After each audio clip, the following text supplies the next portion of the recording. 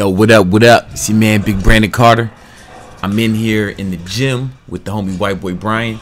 We about to do this ab workout, all right? It's uh all heavy stuff, low reps. We're doing like 14 uh reps for each set, and we're doing four sets of each exercise, all right?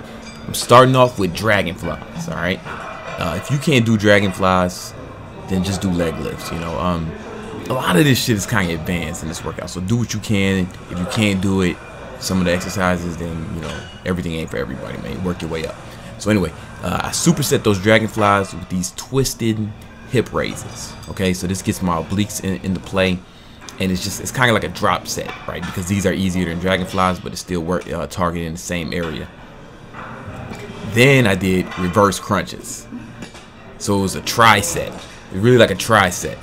You do and a tri-set is when you do three exercises in a row uh, without stopping. Then you rest and then do those same three exercises again. That's one set. So uh, Brian, he didn't do the exact same thing. He just did uh, the dragonflies. Uh, I'm a little more advanced than him, but um, we're only resting uh, enough time for each one of us uh, for the other person to get done. So like, if I timed it, it would probably be like a minute between each set. Brian doesn't have the best looking dragonflies, but you know, it's something. It's something. it's not bad. It doesn't suck. Alright, so then I went from we went from there to uh, cable crunches. Uh, everybody does cable crunches wrong when I see them in the gym. Uh, I have a video on how to do it correctly. Maybe I'll put it the link in the description. Uh, I say that a lot and I forget to do it. So if you don't see the link in the description to how to do this correctly, then uh, please uh, notify me and I'll try to remember to do it. But anyway, yeah, cable crunches. And I picked a lot. I usually just do the whole goddamn all the weights, but I wanted to do a lower weight and just concentrate a little bit more. So I'm doing. I did higher reps than normal. I did about uh, 14 sets. I mean 14 reps. Remember, it's four sets of everything. We're only resting enough time for the other person to get done, and we're not bullshitting in between sets, like talking and checking Instagram. So then, after four sets of that, we did side cable crunches, right? And this is for the the target the obliques. Uh, I feel like obliques is like a weak area of mine, so I just want to really, really concentrate on them this this winter, so they're popping this summer. So you see how my wrists twist on the way down? Let me, let me, let me show you what I'm talking about. So right now my hand, my palm is kind of facing out, but when it comes, then when I come down, the hand is facing in, and then we go, it, it turns, and vice versa on the way back up. The wrist twist, and that just takes a lot of the tension off of your uh, forearm and your arm. So it's like your hand is just, just like a hook, or your hand, you're just using your hand as a hook with this exercise. You're not really moving your shoulder joint. Like Brian's moving his shoulder joint a little bit more than I would like him to.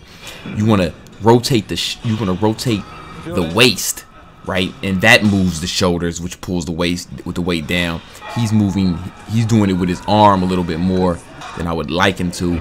But it's his first time doing this exercise, so he has to learn. See how he's like, he's extending his arm at the top and then bringing it down? Like, that's not the fucking exercise. But anyway, maybe I'll do another video on exactly how to do that uh, exercise correctly. So then we went into windmills. I mean, I'm sorry, windshield wipers. And this is another exercise that, that uh, puts some more emphasis on the obliques. It's an advanced exercise. You can just, if you can't do this, just lay on your fucking back and do this, all right? You don't have to hold yourself uh, by, by the pull-up bar. You can just lay on your back and do it. It's hard enough like that. But this is just, this just takes it to another level. Because I'm on another level. but there's levels to this shit, man. There's levels to this shit. So you got to do it where you at. Again, uh, with, with, with that exercise, we just went to failure. And then I ended with my obliques and abs were kind of crushed, so uh, I, I, sucked at this. So anyway, uh, I ended with uh, the human flags. I it kind of sucked. I wasn't able to hold it for that long. And plus, I'm wearing those heavy Tims, but whatever. I'm just making excuses. I just I'm a little heavier now, and I just got to get better at this. I haven't been doing it, so I just got to get better at this. So anyway, I just uh, did that four times. You just hold it as long as you can. It's, it's a isometric movement. Then we ended with uh, jump rope. So we just jump. It's like HIIT cardio jump rope. You jump rope for like a minute or 30 seconds, 30 seconds to a minute, and then you rest for 20 to 30 seconds and then repeat. And you, we, we did that like 10 times. Now check me out, man. This shirt I'm wearing, this High Life shirt, you see it? Brand new High Life shirt. We printed up about a few hundred of them. Just not many. It's gonna be a short run, and we're gonna they're gonna be available hopefully this week or next week. Uh, let me know if you want them in, cause uh, we'll be announcing soon when it is available. It's a cool shirt, cool little high life. You know, represent the high life workout, man. You can work representing your gym or at your home, wherever you work out. All right, peace.